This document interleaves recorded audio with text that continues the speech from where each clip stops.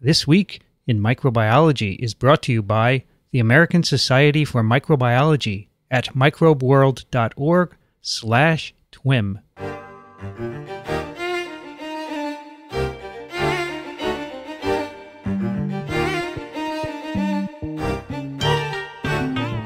This Week in Microbiology, episode number two, recorded on March 4th, 2011. Hi, everybody. I'm Vincent Racaniello, and this is TWIM, the podcast that explores unseen life on Earth. Joining me today from the Medical University of South Carolina is Michael Schmidt. Well, Vincent, how are you this afternoon? I'm well. How's the um, Chamber of Commerce over there? The Chamber of Commerce weather, well, it's not as good as it was on Monday, but it's it's it's going to be a nice weekend. I'm hoping for. Yeah, up here it's still freezing, but we are north. Good to have you back again. Also joining us today from Central New Jersey, Cliff Mintz. Hello, Vincent. How are you? I'm fine. How are you today? Um, well, Central New Jersey is that a good place to identify you from? Princeton sounds more officious, Yes, but of course you're not in Princeton, are you? but I go there frequently. That's okay. Close enough. From Princeton, New Jersey. Yeah, Princeton is quite the august place. yes. And I, of course, am in New York City. So the magic of Skype brings us all together to talk about microbes. And today we have two stories to talk about to uh, improve your microbial education, and mine as well, I should say. I learned a lot last week. And uh, I think on TWIM I will learn quite a bit. So I'm looking forward to it. The first story that we're going to talk about was actually sent to me uh, by Alan Dove, my colleague on TWIV, one of the other podcasts I do. And that is a report from the CDC. This is in Morbidity and Mortality Weekly Report, which we've talked a lot about on TWIV, and, and which is probably familiar to many. Uh, it is a documentation of various uh, diseases, not just infectious diseases, but uh, other kinds as well. And this one in particular is called Fatal Laboratory Acquired Infection with an Attenuated Yersinia pestis strain, Chicago, Illinois, 2009. So this just came out uh, not too long ago, February 25th. And it's the result of an investigation of a fatality in uh, 2009. And just to briefly outline the circumstances before we start talking about it, this is a um, an individual, a man 60 years old, who was a professor who had a laboratory who worked on Yersinia, was admitted in an outpatient clinic for fever of unknown origin. He'd had it for three days. A physician suspected influenza, referred him to an emergency room, but he didn't. He didn't go there. But three days later, he was brought back by ambulance because his condition had worsened. Uh, that was September 13th. And then they have the results of a variety of laboratory tests. Basically, after 12 hours, he was intubated because of respiratory distress and died an hour later.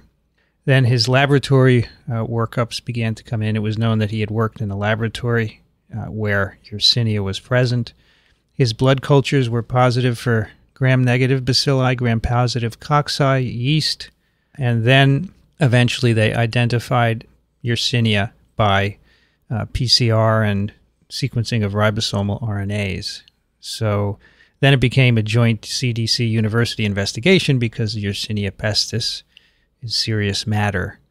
And um, the, the the issue here, which we should talk about now, is is how he acquired this. He in fact was infected with a laboratory strain, which he worked with in the lab, and which was attenuated. It was actually a vaccine candidate. So, um, who would like to to weigh in on this? I'll start. Um, the other remarkable thing that's found in the MMWR report is that this individual was also uh, suffered from diabetes. Mm-hmm. And as many of you who work in the infectious disease world, diabetes also predisposes you to a number of infectious agents. And so it, it raises your risk level uh, somewhat. The other thing to take into account is that this time in 2009, we were in the uh, beginnings of the pandemic outbreak of 2009 recall that in the spring of 2009 we had i'm the influenza outbreak in New York City that came from Mexico that everyone had on their mind. And I think that's why one of his colleagues suggested he present to the ER and suggest flu. And anytime you have a fever of unknown origin, it's really important to take the complete history of the individual and it's it's what's absent from this report is whether or not this individual actually volunteered at the time he was admitted as to whether or not he was working with Yersinia pestis in his laboratory. Do you think that would have made a difference in the outcome? I don't I don't know. I think it would have been charted in passing because most emergency room uh, physicians, as much as I hate to say this, probably have heard of Yersinia pestis, but have never experienced anything to do with Yersinia pestis. And in my experience, the docs in the ER are not infectious disease specialists. And since Yersinia infections are not very common or prevalent in the Chicago area, it may have been noted, but I suspect that they would have looked elsewhere, considering that he would have said something like, "I work in a laboratory with Yersinia pestis, but it's a, a attenuated strain, or it's not, you know, virulent. It won't cause disease to people." So uh, it may or may not have made a difference. I would have thought, um, as somebody who's worked with infectious agents most of my career, that that would have been the one of the first things that would have crossed my mind that I may have infected myself. But not knowing the individual well. Mm-hmm. Um, a lot of microbiologists have, and I'm sure Vincent, you can um, understand the feeling is that when you work with an agent for a very long time, you feel like despite any kind of incident, it's likely that you'll never be infected because after all, you're the person that works with the organism and whatever. yeah, you get sure. this kind of hubris that, you know, I know how to handle it and stuff. So a lot of times from a psychological perspective, emotionally, you don't want to go there because, you know, how how could that happen to me? Yeah. But but that said, going back to, I just wanted to introduce uh, folks who don't know what Yersinia pestis is. I think many people have have heard through taking history courses that Yersinia pestis was and has been shown using modern molecular biological techniques to be the causative agent of the Black Death or bubonic plague, which ravaged Europe and other places throughout history. And the other thing to understand is, is that even though it did cause those massive epidemics and outbreaks where lots of people died back in the so called Dark Ages, it's really not a uh, persistent problem these days uh, in any part of the civilized world or the developed world. I don't want to say civilized, but developed world. And in fact, the reason why it is no longer a problem is, is that, as some people may know, is that the agent that transmits bubonic plague or inf- allows people to be infected is the rat flea, fleas that live on rats. So the flea will bite a, a rat that has a Yersinia infection. And as a result of that flea feeding on the rat, it will, t- and regurg- uh, regurgitating, taking up blood, the flea will then leave the rat. And if humans are in close proximity to the rats, as they were in the Middle Ages, where there was no sanitation or vermin control or anything like that, the fleas would jump off of the rat, bite the skin of humans that were around, and infect the humans with Yersinia pestis. Now, because we have much better sanitation in the uh, developed world, uh, we've eliminated the uh, life cycle, if you will. That is, there are rats around, but they are not in very rare in many places, and there's not the proximity of the rat, and thus the rat flee to humans. However, that said, in certain parts of the United States, for example, out west, in the western part, southwestern part, even west, Yersinia pestis is found in uh, prairie dogs and related rodents, and it's endemic. And what we mean by endemic is, is that the organism is present in those populations. It causes some disease, but not a lot. The organism is there. And if you go to places like Yellowstone and, and places in the Southwest, there will be signs saying, do not feed the prairie dogs now or the rodents or whatever are around there and most people think well you don't want to feed the park animals because it's not good to feed this you know you give them you know candy bars and stuff but really what they want to do is reduce the exposure of people that are visiting the parks to the prairie dogs and other rodents to minimize the contact of, or transmission of fleas from those wild rodents to unsuspecting humans. So I, am looking at MMWR and it says that Yersinia is enzootic among rodents in western U.S. Yes, and that there are there are a couple of cases now. In fact, this is from 2010, um, two cases in Oregon. Right. So when we say endemic, that means that it's there and it does cause disease, sporadic disease. But in terms of worldwide pandemics or epidemic outbreaks of Yersinia, it just doesn't happen anymore because we understand through a lot of lot of research mm. about the life cycle and the, the need for infected animals to be in close proximity to uh, potential human uh, hosts. It says here that sleeping in the same bed with dogs has been associated with plague. Yep. Yeah, you lie down with dogs, you wake up with fleas. you wake the, up with plague. The yes. the other adage we often uh, talk about is that the plague bacillus has yet to cross the great river, the Mississippi.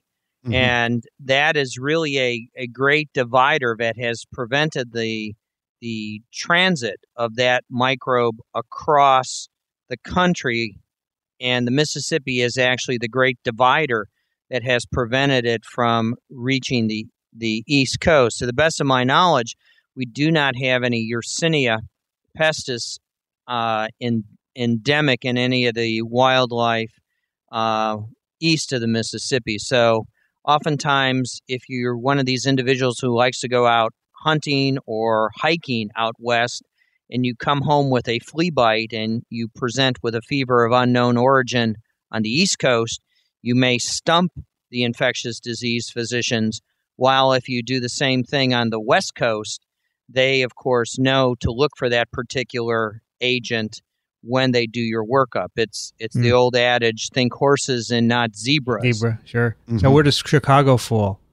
Chicago is fortunately east of the Mississippi. Yes. And so consequently, um, it would not have been considered endemic mm-hmm. in, in mm-hmm. this individual's situation. Now, they treated uh, him with vancomycin and piperacillin mm-hmm. and tazobactam. So, is this the appropriate treatment, or would this have absolutely no effect? The interesting thing about Yersinia, now we're going to go into the life cycle of this microbe, it's a facultative intracellular parasite. So it's all about delivering the drug to the parasite to effectively knock it out. And so what they started him with was an empiric cocktail based on treating a general gram negative sepsis along with a gram positive sepsis. Mm-hmm. And so what the ID docs were doing is they were going with what works at their particular hospital for blood cultures that come back positive for gram positive cocci and gram negative rods. Remember, they didn't know at the time what he had. They just knew he had a positive blood culture bottle that reported out gram positive cocci and gram negative rods. So they were going to the empiric standard of care for a positive blood culture bottle. If he if they had diagnosed Yersinia on day one, what would they have treated him with? They they probably would have treated him with drugs uh, that are known to be able to pass into uh, macrophages. You know, sort of like uh, I, read on, I, I, don't recall exactly what the treatment is, but they're pretty heavy duty. A lot of times, if it's a known infection, chloramphenicol is even used, which is a very toxic uh, antibiotic that works. Some uh, tetracyclines uh, would have been effective. Uh, some, uh, you know, even some penicillins or derivatives of penicillin would have worked. But the thing is, is that the, the reason why he was so um, so much in, in distress and stuff was that he once maybe we should talk a little bit about the how the the pathogenesis or how the organism actually takes foot in in the human body.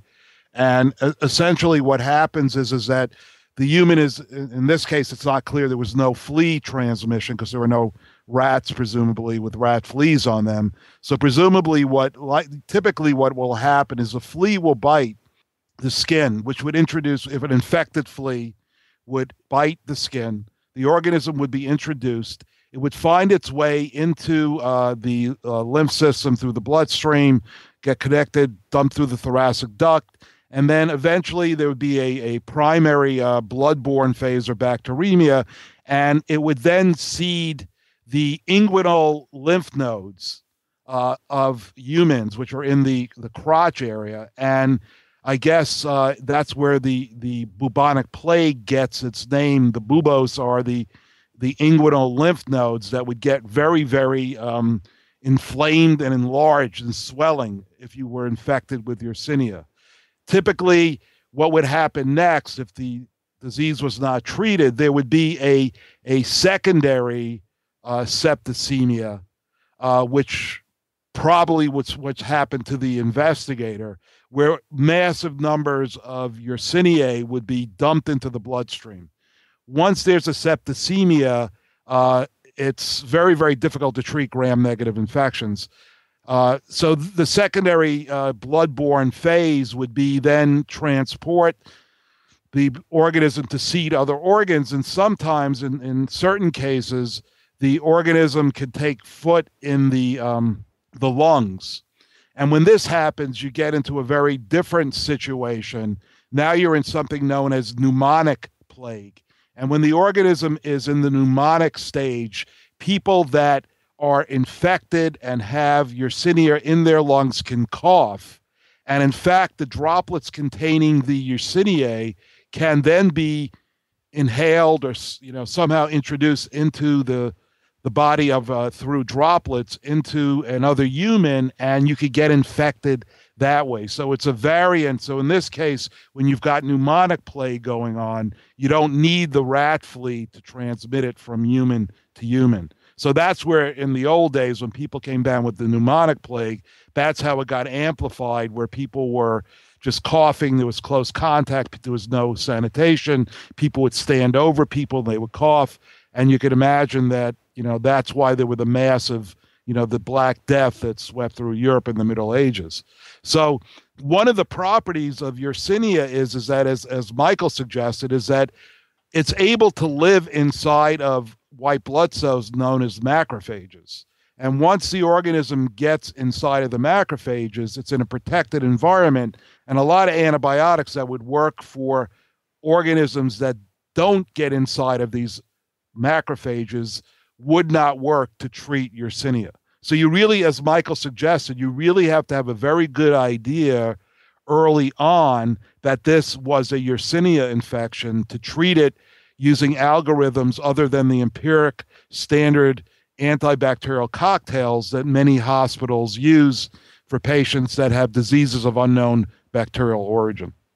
And the drug of choice is streptomycin, which right. is not routinely found in the ER, with a secondary one being gentamicin. And so mm-hmm. when you look at these things, you know, the rule of thumb when I was being brought up in the infectious disease world is you always want a cidal antibiotic, something that kills, because the static antibiotics, the ones that effectively just stop growth, effectively allow that organism to hide itself.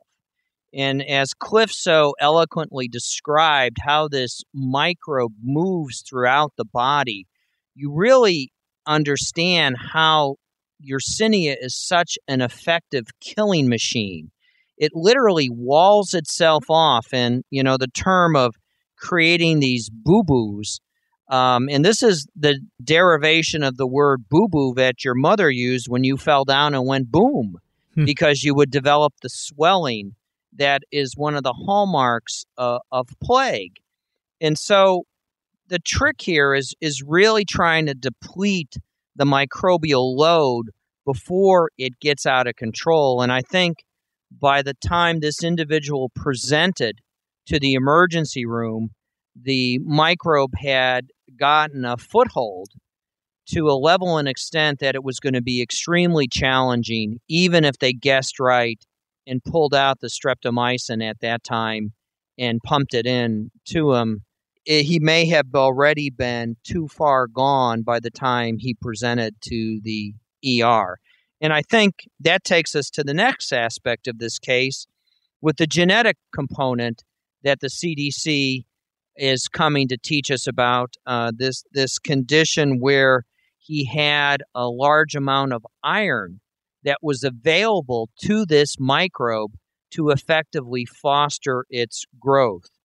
Remember, iron is oftentimes the limiting reagent in many infectious processes. The human body ties up iron pretty tightly. We, we lock it down because it's such a precious resource to us because we use so much of it in making our red blood cells. I mean, it's the active component associated with our hemoglobin. And hemoglobin by itself is a, a curious molecule. It's effectively the box that we carry the toxic molecule around called oxygen. Many people probably don't think of oxygen as toxic, but it's extremely toxic to cells if it's at too high of a concentration. And thinking about how we move oxygen around, we carry it around in an iron box and then we expose it to our capillaries, show our capillaries the oxygen. It then gets the electrons from the electron transport chain and immediately becomes water. And so, what this individual had is he had a high level of iron floating around. And so the Yersinia was able to harvest this iron. And this particular individual was of European descent. And folks who survived the Black Plague, those hundreds of years ago, it's about 500 years now, um, those who lived actually deposited their genes into the gene pool. And typically, those individuals um, had the same sort of condition, or at least had the gene for the condition that he had, enabling them to move iron away from the white blood cell and into organs to effectively hide it from the plague bacillus. But in this case, once the plague got out, it really took over and was able to take advantage of the additional iron that was sequestered in his tissues specifically his liver. So he presumably did not know of this condition beforehand. I would suspect not. So, do you think that uh, if you are known to have hematochromatosis, that you should probably not be working on this bacterium, or maybe any others? You know, that's that's a really good question, and I don't know whether or not um, I chair the biosafety committee at my institution, and we evaluate everyone's science who works with an infectious agent or has recombinant DNA, and we effectively evaluate the risk. And so it's up to the principal investigator to present the risk to the committee. And it's an issue as to whether or not we would have considered his ancestry when we were evaluating working with an attenuated strain of Yersinia pestis. I think we would have looked at it and said, this is an attenuated strain, and the risk is probably easily managed with biosafety level 2 precautions.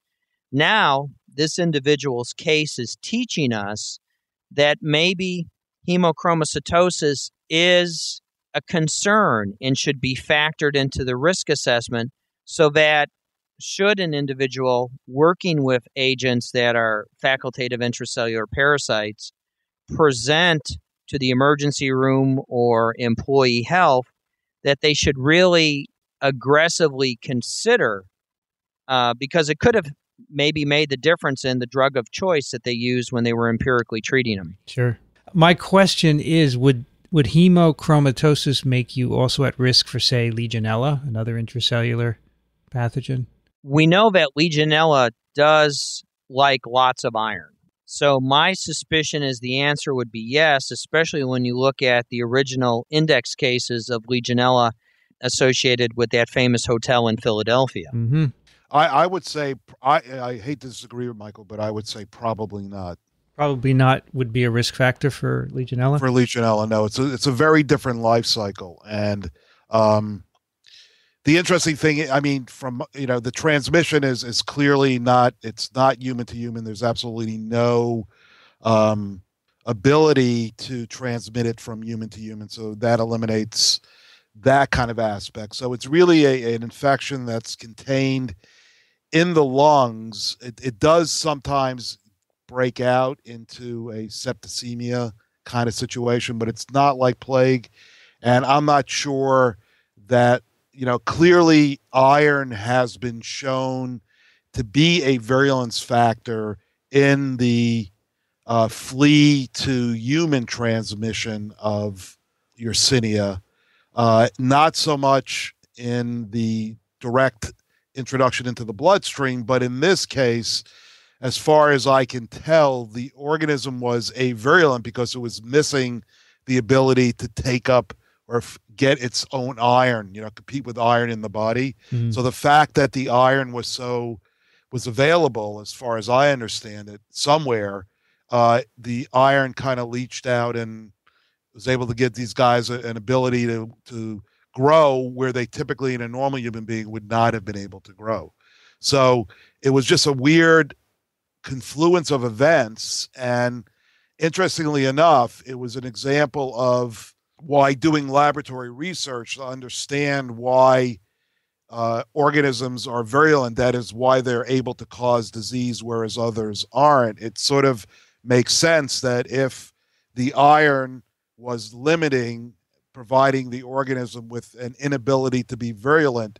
If you somehow add the iron back to the organism or the growth medium, the human in this case, where it doesn't require anything special, there's just so much of it available or somehow can get it, that virulence factor is no longer, you know, a, a true absolute virulence factor in all cases. So in this case, something that would be avirulent 99.9% of most people, in the case of people with this condition, it's it's not enough.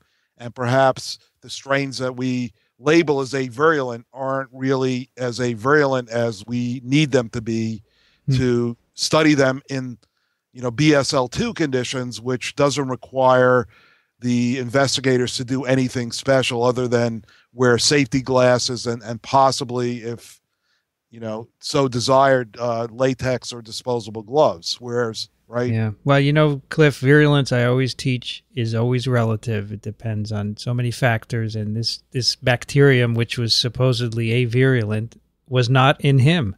Right. Right. But the interesting thing about Yersinia is is that the just you know it just to me it's amazing how much research has been done on this organism. I mean, it's it's really a well understood the the genes and their products that are responsible for pigmentation, infection by the flea, and then in, in the bloodstream, and then how the organism actually gets into the macrophages and it uses a, a, uh, a secretion system, type 3 secretion system, which is universally, in most cases, used by gram negatives to penetrate uh, white blood cells, particularly macrophages and other cell types.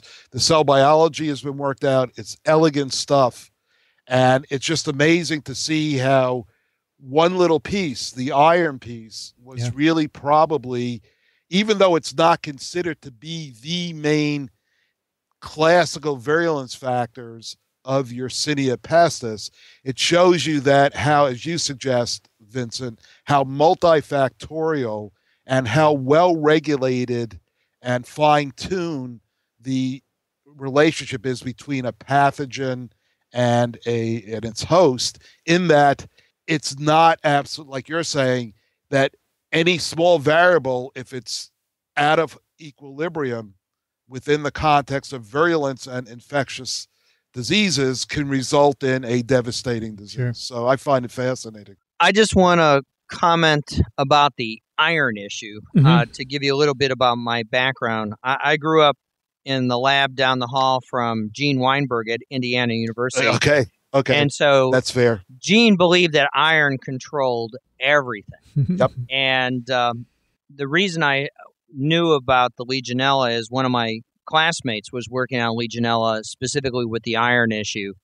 And um, what they learned is that um, the alveolar macrophages require iron uh, for Legionella requires iron in the alveolar macrophages in order for them to grow, and so that's where that comment came from. Right. And right. Gene Gene made certain that I always said that iron controls everything.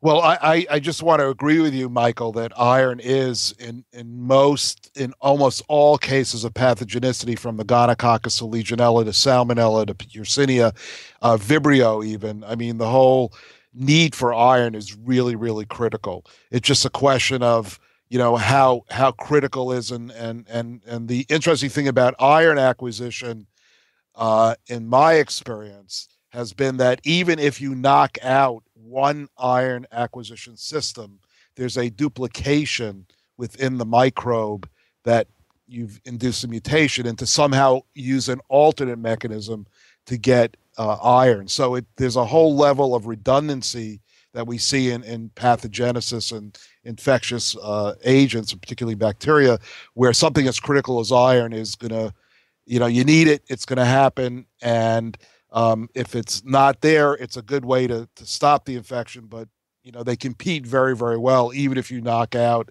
the first level of uh, iron acquisition because there's a lot of work in the gonococcus and vibrio would take out the siderophores the iron chelating or binding small molecules and then there'd be mutations in outer membrane proteins or new proteins that were able to bind iron or compete with lactoferrin or transferrin so yeah i think iron is really really pivotal but you know, from a Gene Weinberg standpoint, you know, if you if you use you know give everybody EDTA, nobody would come down with diseases, right? Because you chelate all the available iron.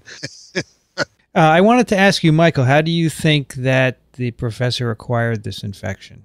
My suspicion is that it was probably an issue of hand hygiene.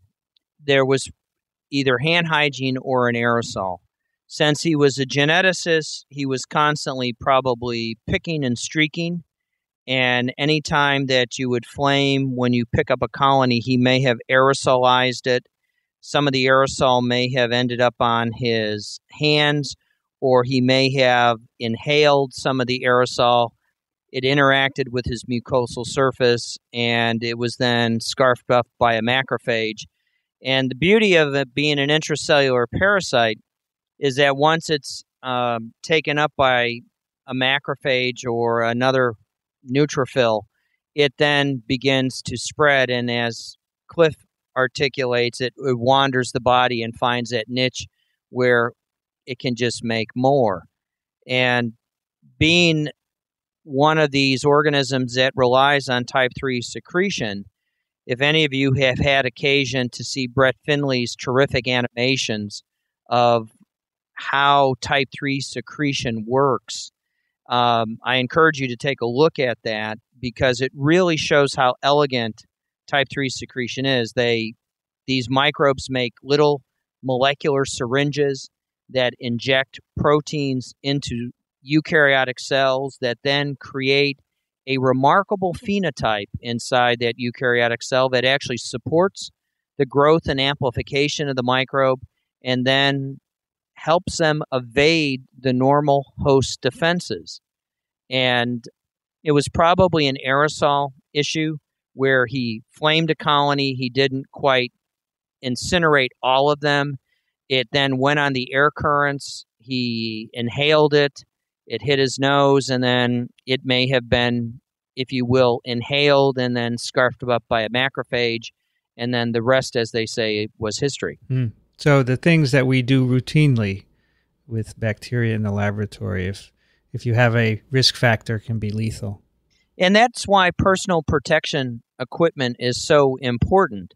Uh, Cliff already said that typically biosafety level two requires um, normal precautions of closed doors in the lab, uh, following strict hand hygiene guidelines, and often eye protection. One of the ways to protect yourself when working with infectious agents is to protect your mucous membranes. And so, if you were concerned about inhaling or a fugitive emission from a streaking or flaming incident, he could have simply worn a, a surgical mask because it was a big enough aerosol that it would probably have been stopped by a simple surgical mask. Or if you were really concerned, you could go to the N95 mask, which must be fit tested. And if you have facial hair like Vincent does, then of course it, it becomes problematic to wear the standard N95 mask. And also, they're not very comfortable to wear for prolonged periods of time. Vincent, I have a different theory. Okay, let's hear it. Um, since I am kind of like a hybrid geneticist and, and infectious disease guy, uh, when I was doing uh, genetics on, on Legionella, I never, I very rarely used um, uh, my my loupe. I used toothpick, sterilized toothpick, and knowing that Malcolm was a geneticist, he may have been. I'm not discounting Michael's theory, but I I agree with Michael. It was probably a hand hygiene thing, and it could have been that he didn't wash his hands or he smeared some stuff on and he forgot about it. He didn't wash his hands. There may have been an open wound. Uh, he may have stuck his finger up his nose uh, or something. Yeah. But it's clear that you know it, it, pneumatic. They didn't show that it was pneumotic. I didn't think. I didn't think the lungs were infected. So I'm almost thinking that I, my scenario is is that there may have been like a, a, an abrasion or something where the Yersinia, again, if you don't, if they're avirulent and they don't have iron and you're not having a rat flea bite your skin, if the, the Yersinia are introduced into the bloodstream directly somehow, like through an open wound, or get into a wound and then are taken into lymphatics where they like to be, they will grow out and whatever. But I, I, I wonder if he actually experienced any inguinal yeah. swelling. Yeah, they didn't note that there are any buboes on the uh, report. Right. Yeah. But the interesting thing is, I read a very interesting report where they were uh, looking at the role of uh, the loss of pigmentation with Yersinia, uh, depending upon how you plate them out in the laboratory. And the fact is, is that if you lose pigmentation, you also lose the ability because of the the uh, uh, location in the uh, pathogenicity island that Yersinia has, like many other pathogens have. If you lose the ability to um, make the pigment, you also usually use the ability to to uh, acquire iron because the iron acquisition system is knocked out. And they actually did experiments where they took these uh, so-called avirulent mutants and directly injected them into mice and surprisingly, they used 10 mice in this experiment. They were avirulent in normal, or in, in the, uh, the, the virulent ones killed all the mice. And their expectation was that in the experimental group using these avirulent mutants, which are known not to uh, cause disease, when they injected them intradermally into the mice, it didn't kill them. When they injected them intravenously, introducing the organisms directly into the bloodstream. Two out of the 10 of the mice that were infected by the so called avirulent mutants actually died from overwhelming systemic uh, Yersinia disease. And I have a funny feeling that that may be kind of what happened to Malcolm some I mean excuse me the person some some way uh, in that regard. And they were also alluding to that the mutation from uh, wild type to the loss of pigmentation in the iron is a very spontaneous mutant mutation that takes place rather frequently, leaving the possibility to notion that there have been, when you look at isolating Yersinia from patients, there are these pigment variants or mutants that emerge, suggesting that cla- there may be non-classical or atypical types of plague that go undetected or happen so infrequently that we're not really aware of the contribution of these multiple virulence factors too. And I think that goes back to one of the articles that is cited in the MMWR report from 1956 the virulence enhancing effect of iron on non pigmented mutants of virulent strains of Pasteurella pestis. Right. And so it I, I think in this particular case, it's as Vincent summed up so well, it's all about context. And in this particular context, this individual had extra iron available for this non pigmented, quote, attenuated strain. And because of the context of the attenuated strain, regardless of how it got in, the context of having that extra iron enhanced its virulence and actually then converted it from an avirulent microbe to a virulent one. And right. if he had been working at uh, biosafety level three, where the contact precautions would have been N95 mask and he would have been wearing gown and gloves, then he may not have inoculated himself or acquired it from the environment, and it would have all been moot. But again, that goes back to the risk assessment component. This was risk assessed as a biosafety level two agent based on best practices.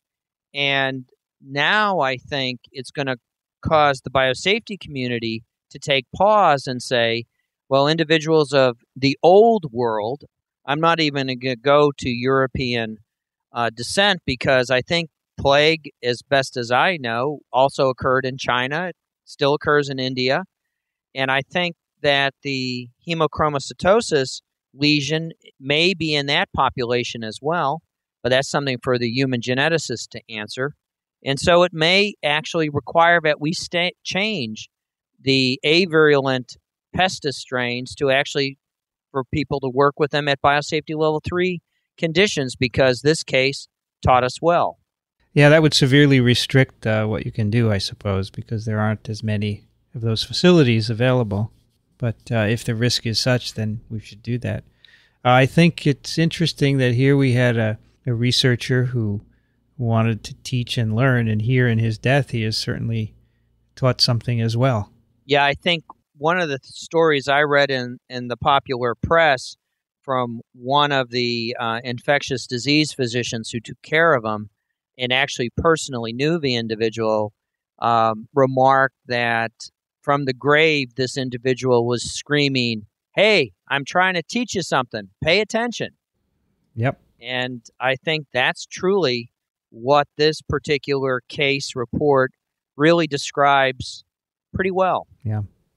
I, I think, you know, in a similar, to echo a similar sentiment, is that infectious agents are infectious and you have to whether they're you have to respect the fact that they are pathogenic organisms. And whether they're avirulent or virulent you need to handle them safely according to laboratory guidelines and not to make any assumptions that a pathogen just because it's so-called attenuated cannot ca- cause harm and sure. that's really you know you have to for for people training in infectious microbiology, it's really really important to understand that these are things these are organisms that you have to respect at all times and never to lose sight of the fact that they do cause disease.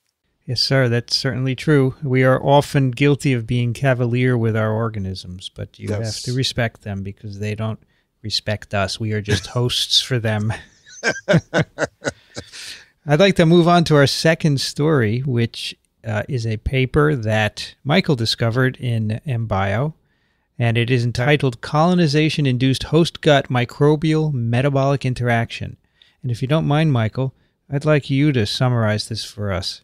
Well, this is a a really interesting and, and fascinating story. This this is taking us into the realm of uh, a systems biology approach, if you will, to understanding how microbes interact with their host. And in this particular case, in this paper that's in the most current MBio edition by Kloss and other authors from um, uh, a number of laboratories, it's a really fascinating paper, and I encourage folks to look at it.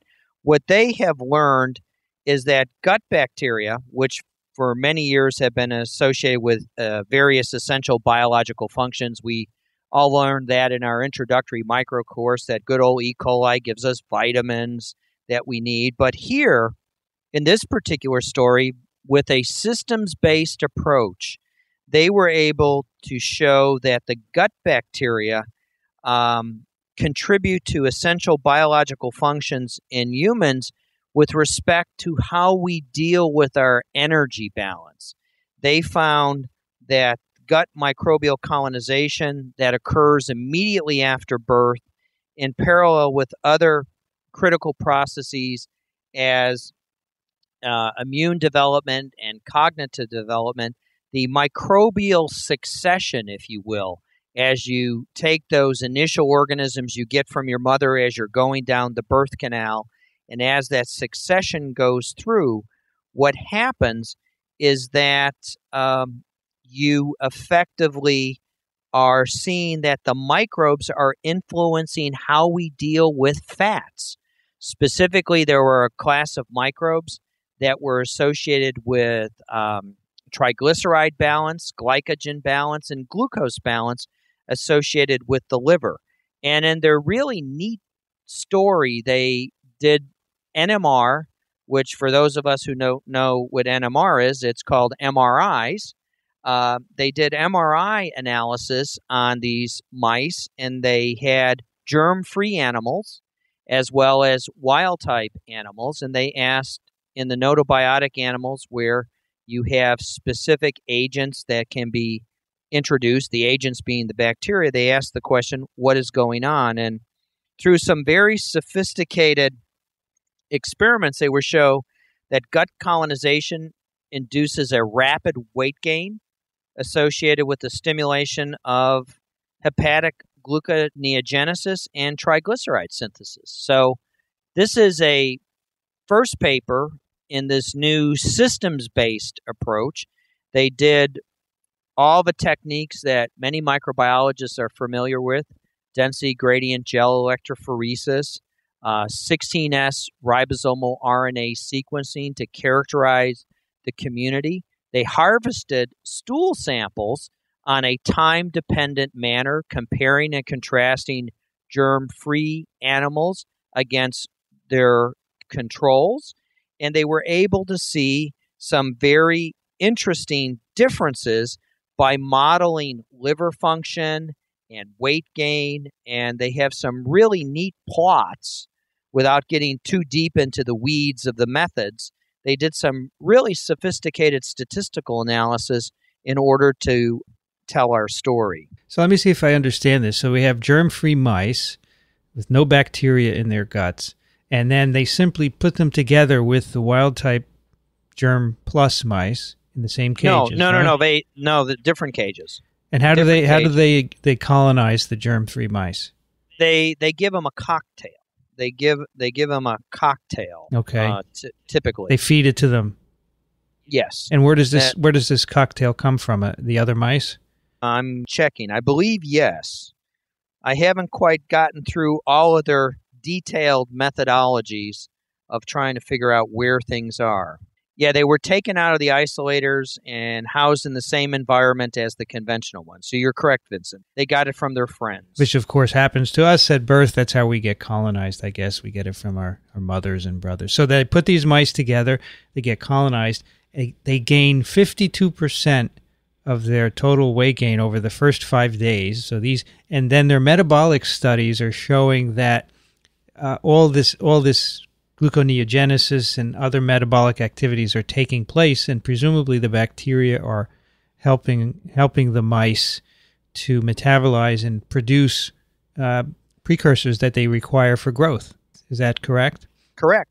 That's the simplified version. And then they also, as you said, they they monitor the bacteria by sequencing ribosomal RNA. They have this wonderful progression. Figure three is a progression of the um, the colonization of the gut over the first twenty days or so. They they have it in pie charts. It's just beautiful and all these various uh, bacteria that are present. And then eventually, I guess it reaches some kind of uh, homeostasis where the population is stable, and then you're an adult mouse.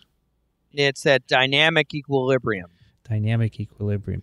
the thing that's so impressive about this paper is that you know again as michael said it's a systems biology approach and you know notobi- colonization of notobiotic animals is something that's been studied for 30 or 40 years or something like that.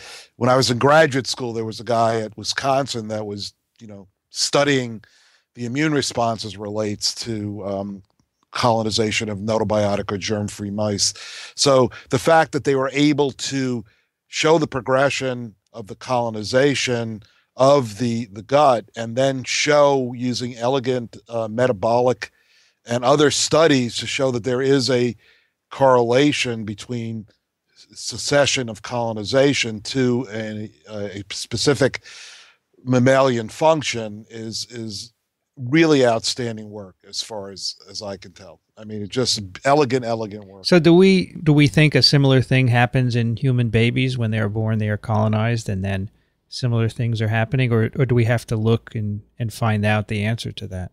We know that the human gut goes through uh, a succession, and that's part of the NIH's microbiome project. They're actually looking at uh, various body sites, asking about the the microbial community associated with that. And I think this particular paper, the reason I thought so highly of it is because I think it will serve as a primer of how we can ask what if stories and consider the scenario in the average human. The last story we talked about, we asked the question about antibiotics, and these were broad spectrum antibiotics. You almost have to ask the question how will the host respond to an antibiotic regimen mm-hmm. and what will go on in the gut and what goes on metabolically uh, in the human host when you disrupt this dynamic equilibrium with antibiotics. And so I think some of the tools that they use to answer their question using these mice and they had the advantage in that the mice were genetically identical. That's the other thing that they have going for them when using mice is they're genetically identical.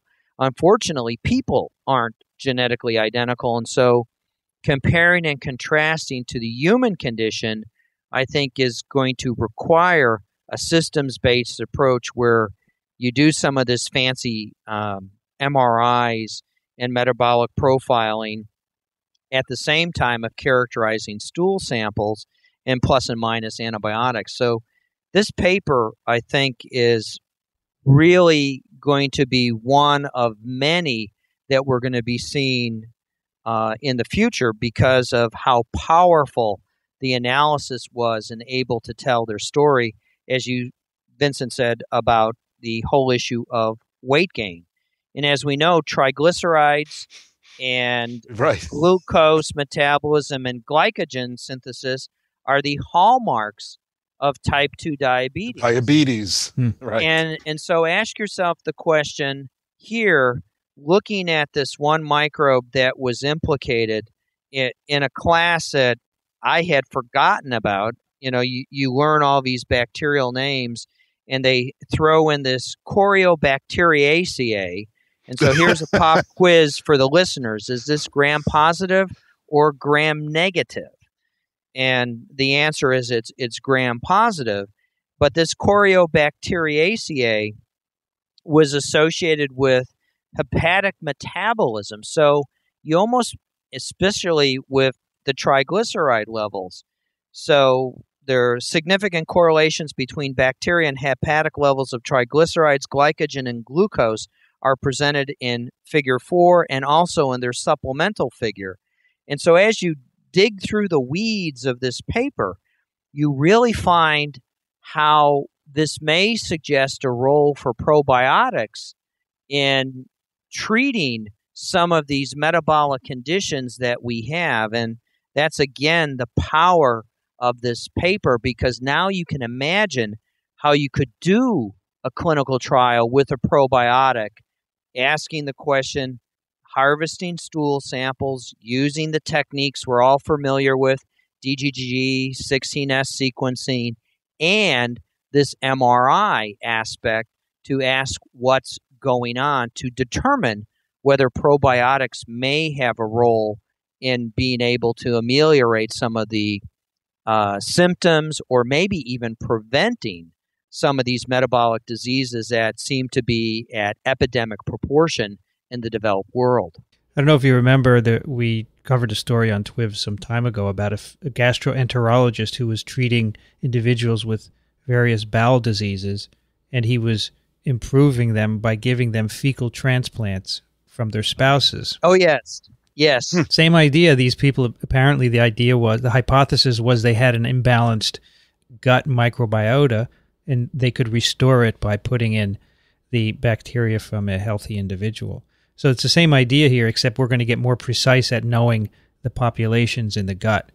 Well, I, I think it's really interesting that um, you know you have these stories about eating yogurt and all this stuff and how they've gone on for centuries, and then you have the whole concept of uh, traditional Chinese medicine and and things like that. But you know the fact that you know eating yogurt is supposed to, according to the old Dan and yogurt commercials, enhance longevity and and you know improve health. It, it kind of speaks to the fact that you know obviously when you're eating yogurt, there's a lot of gram positive lactobacilli and, and related gram positive uh, bacteria, but it's clear that changing the microflora has long been known to have positive effects as well as negative effects when you decimate the balance by long-term antibiotic treatment. But it it it, it really speaks volumes to what Michael was saying that there is a big probiotic movement now using uh, you know probiotics rather than antibiotics and and related compounds to treat disease or treat conditions.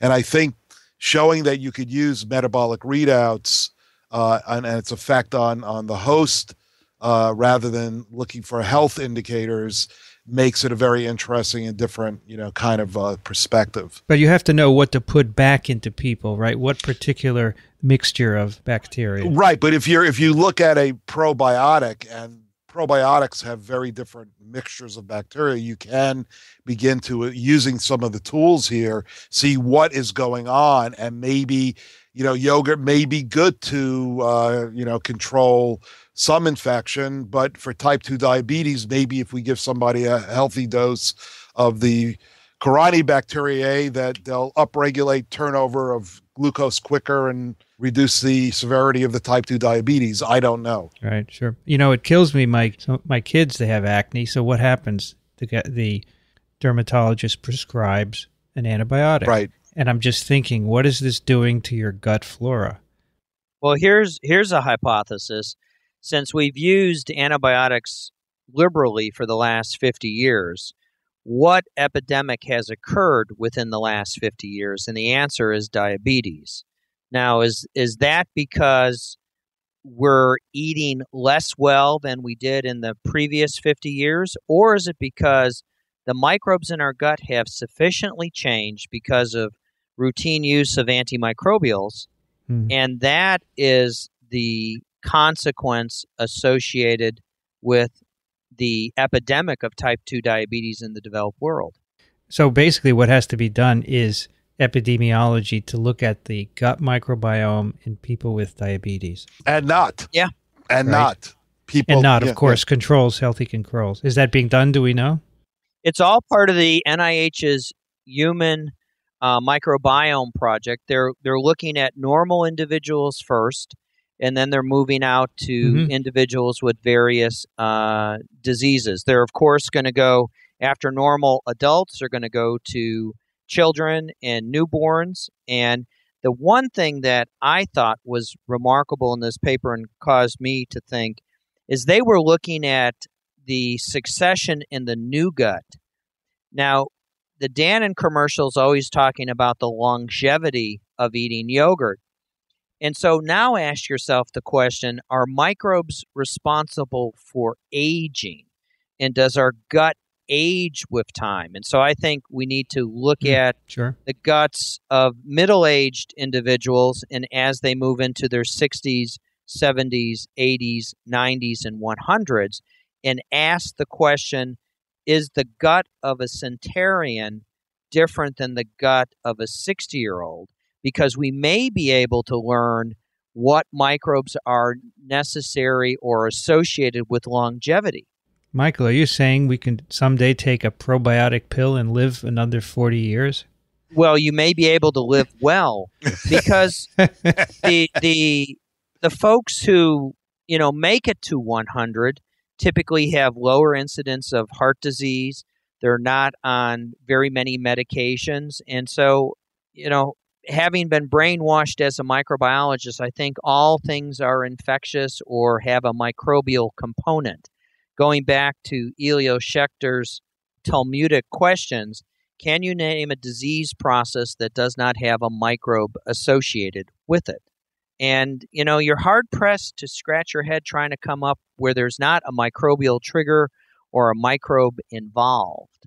And so I think we have to really look at the systems approach to really understanding human health. And I think it it's the the cap of TWIM, you know, what we're effectively discussing. Yeah. How about susceptibility to infectious diseases also?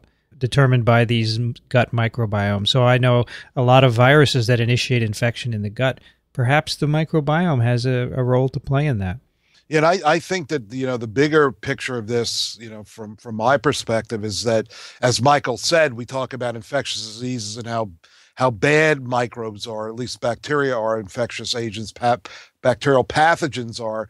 But when you look at the the positive benefits of bacteria, to the health and well-being of humans and other animals it's clear that society needs to look at bacteria a little bit differently because for all of the bad diseases that they cause there's so much other positive things that they bring to uh, humanity that i think that you know bacteria have gotten a really bad rap viruses deserve the bad rap. There's no question. well, no, but there are, I, Cliff, there are good viruses also. I guarantee I it. the ocean is full of them. I know, I know. And and for our listeners, I highly recommend March of the Microbes by John Engelhard. Is that the name? Let me look it up. It's John Ingraham. Oh, John Ingraham wrote that. Wow, guys, you got if you haven't read it, I highly recommend it. It's it is a, it's wonderful. a wonderful book. It's wonderful. It's a wonderful book. It's about this whole thing. Not only are they bad, but they are mostly good. Mm-hmm. Yeah. In the previous issue of MBio, there was a very short perspective article. It was entitled "A Systems Biology Approach to Infectious Disease oh, yes. Research: Yes, Innovating the Pathogen Host Research Paradigm." So, if you're not familiar with this notion of systems biology, this short, very approachable five-page article or perspective in MBio really describes what the National Institute of Allergy and Infectious Diseases is doing to embrace systems biology. There are four system biology centers that were funded by the National Institutes of Allergy and Infectious Disease.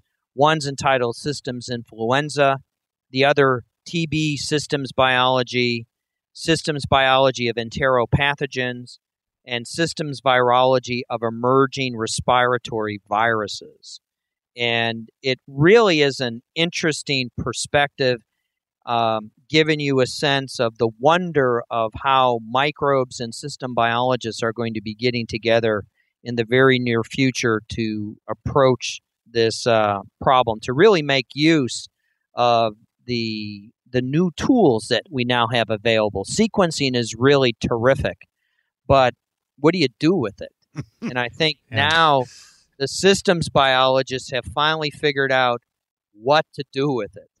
I uh, visited one of those systems biology centers a few weeks ago in uh, University of Washington, and I did a podcast with Michael Katze, who is the PI of, of the, that systems biology center. So I, I direct you to a uh, a recent TWIV, I think it's 121, uh, where we had a panel discussion about using systems biology and, and virology is quite interesting.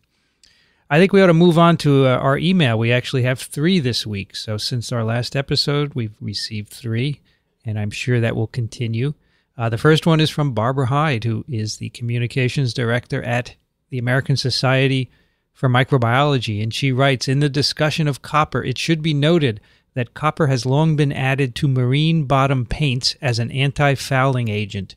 Now, however, there is concern about deleterious environmental effects from its leaching out into the waters.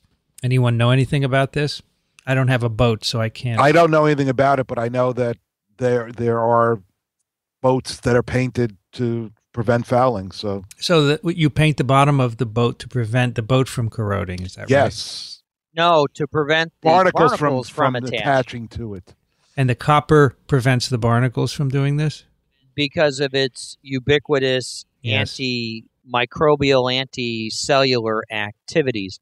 But anytime you go into seawater, it seawater is a corrosive environment. Any of you who have boats know that you put a zinc plug on on the end of your boat so that the corrosion attacks the zinc rather than your Hmm. motor.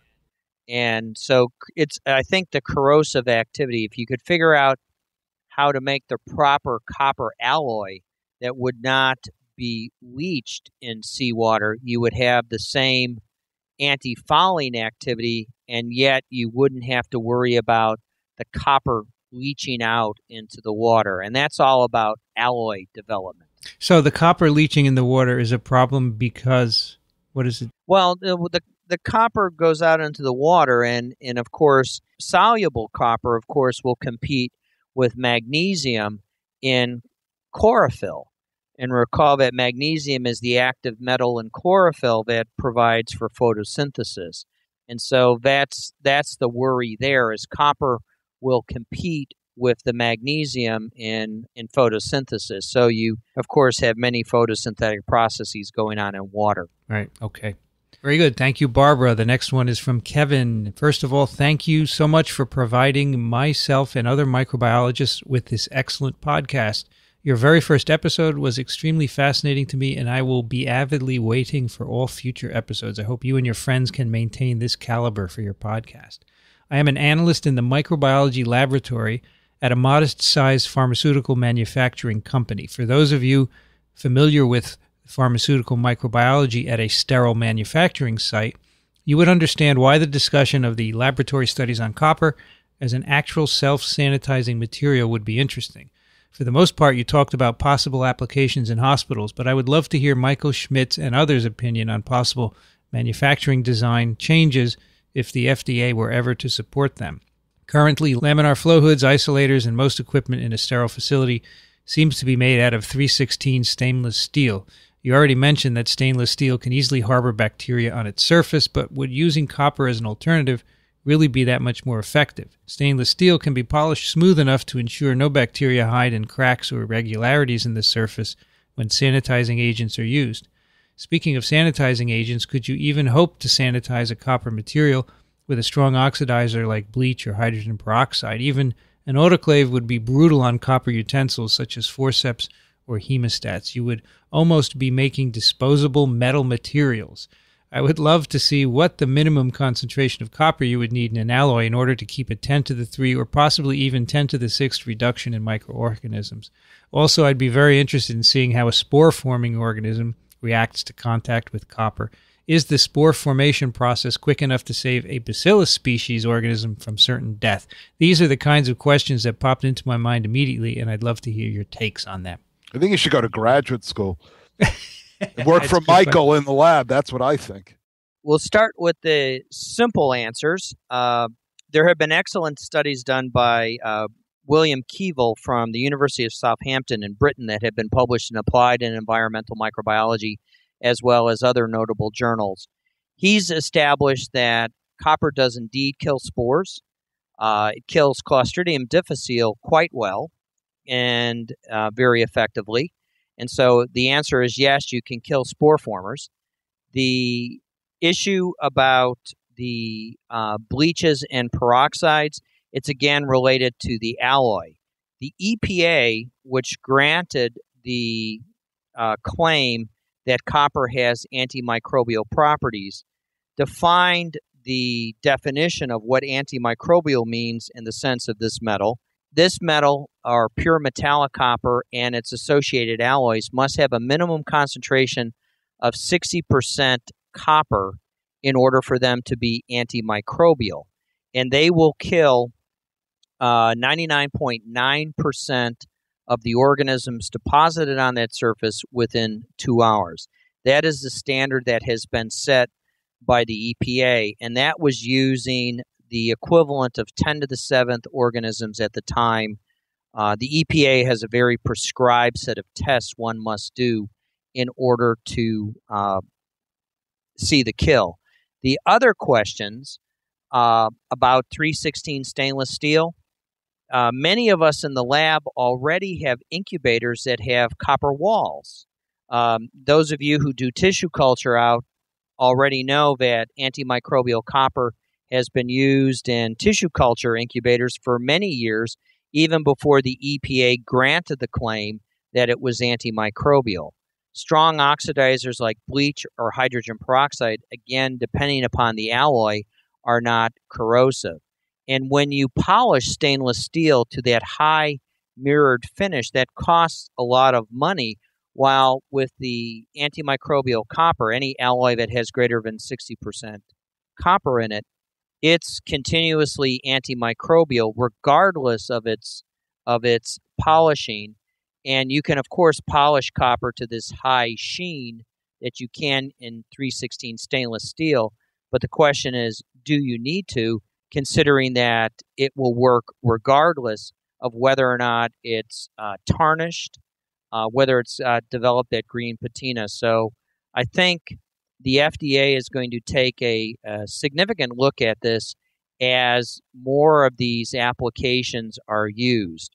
So I, I, all of these are terrific questions, and if you want to come to graduate school, you always use a good set of hands. All right, he he ends up by writing, "I'm a 25 year old analyst at this company with slightly over four years of industry experience. I would be ecstatic if you could take some time in an episode to describe." The differences between industry and academic microbiology, focusing on some of the progression or hierarchy in those different fields.